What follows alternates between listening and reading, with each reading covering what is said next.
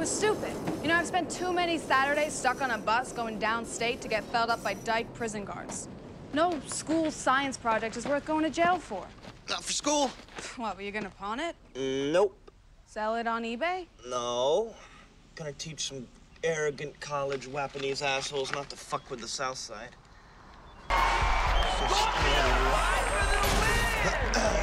Back for yet another round of ritual humiliation, Gallagher. Finally gonna win this time, Joe.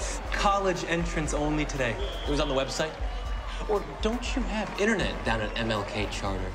What's the matter, Joff? You afraid a teenager's gonna kick the shit out of one of your half-ass bucket of bolts?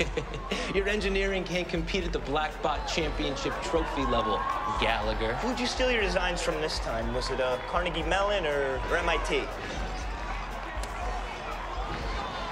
Entry fee's 150, and we don't take food stamps.